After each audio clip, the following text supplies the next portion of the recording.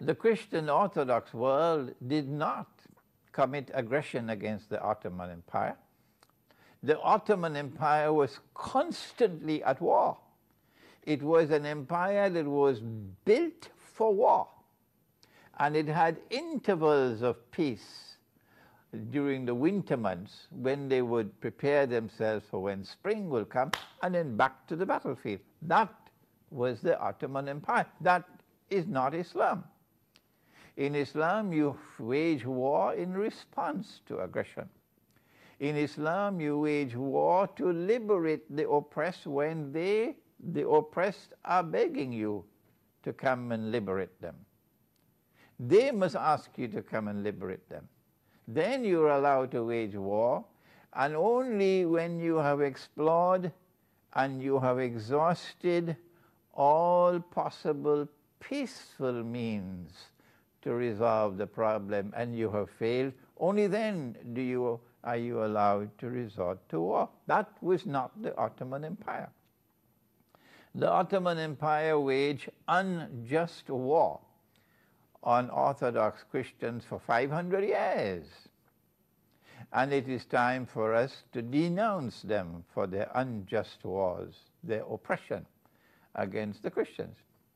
But not only, not only that, it seems to me as though there, is a, there was a sinister explanation behind the conduct of the Ottoman Empire. That the Antichrist or Dajjal, in his day, which is like a year, the first stage of his mission, you know, his mission is comprised of three stages before he appears in person. As a Jew, as a young man powerfully built, to stand up in Jerusalem and to declare that I am the Messiah when he would not be the Messiah. The Messiah is Jesus, the son of Mary, who will return. But this is the false Messiah. So he has to pass through three stages before he will appear in our world of space and time as a human being from Jerusalem. In stage one, in my book, uh, Jerusalem in the Quran, in stage one, I have mentioned that he created Britain as a ruling state to do his dirty work for him, to eventually rule the world from Jerusalem.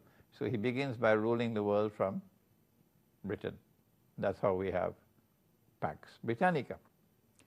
But at the same time that he created Britain as a ruling state to do his dirty work for him, at that same time, within the world of Islam, the Antichrist created the Ottoman Empire to rule the world of Islam for him and to do his dirty work for him.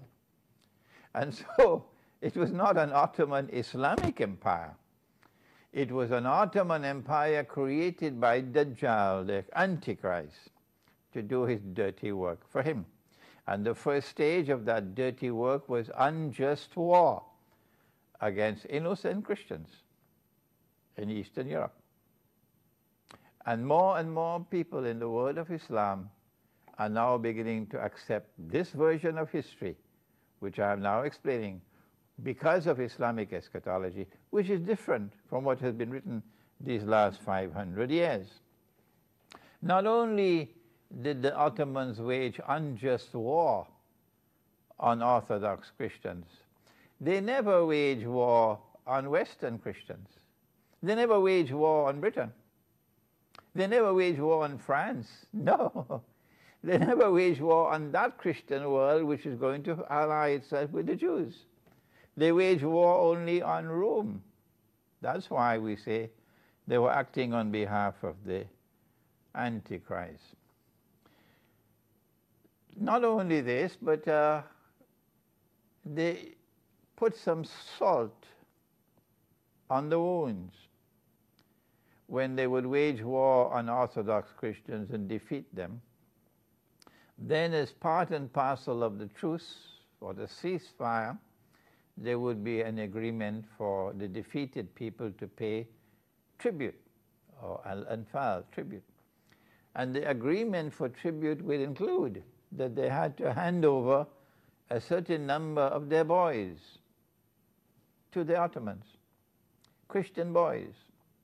This is history. It cannot be removed from the history books now. Don't try to do it. It's part of the history.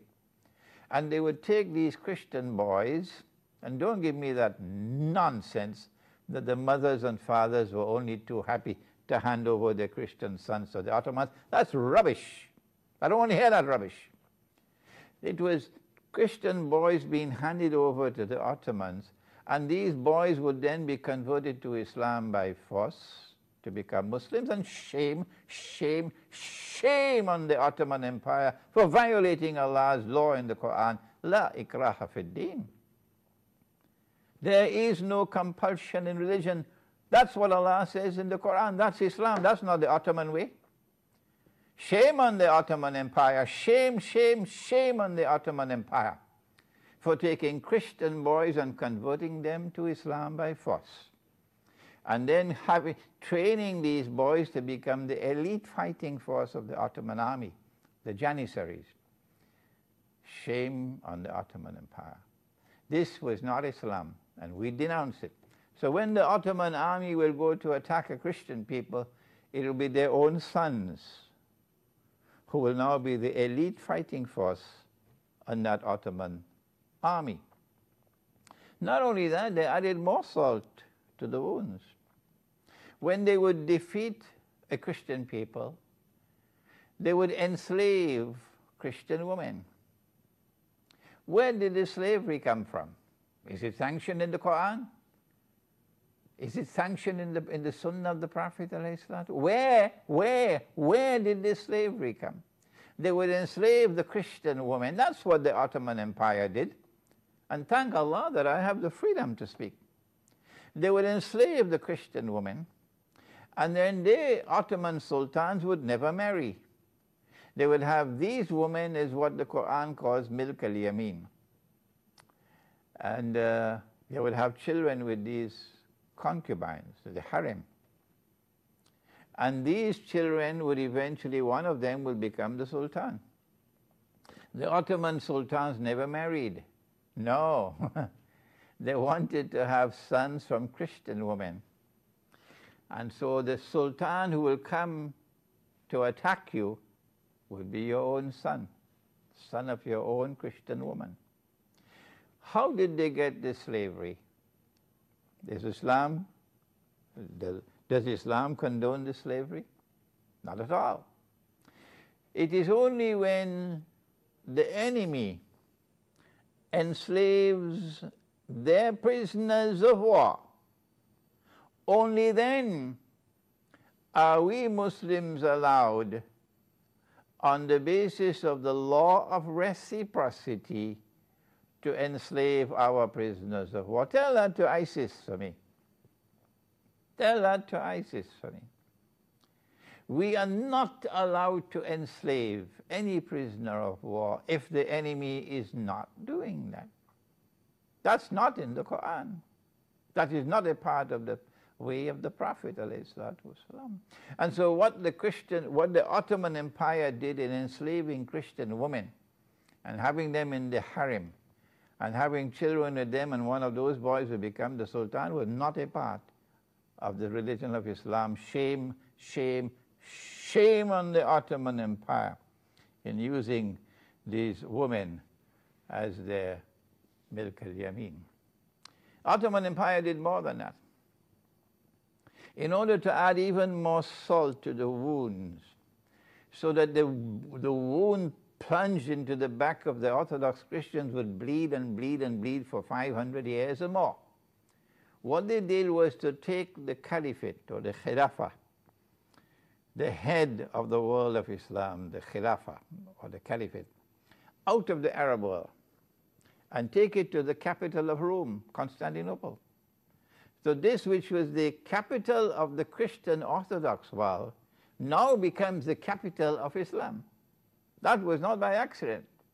That was meant to destroy, destroy whatever integrity there was in the Orthodox Christian world.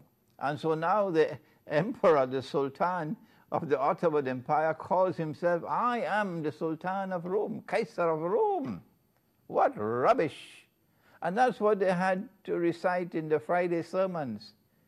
in the masajid around the world of Islam, and that was rubbish, rubbish, rubbish. He's now the Kaiser of Rome or the Sultan of Rome. He's not.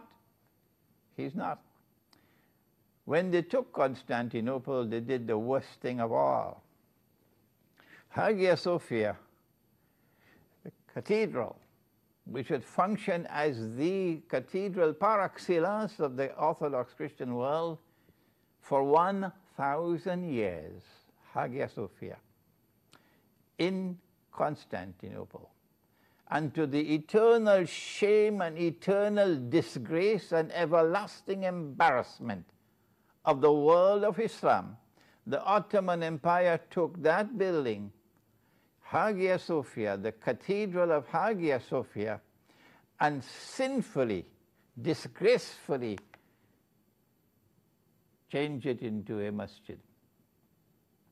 Never in the history of Islam have we ever been so disgraced by a people as we were disgraced by the Ottoman Empire. And so, what we say to you today is that the conduct of the Ottoman so-called Islamic Empire was not representative of the, of the Quran and of the Sunnah of Prophet Muhammad, Allah's blessings be upon him.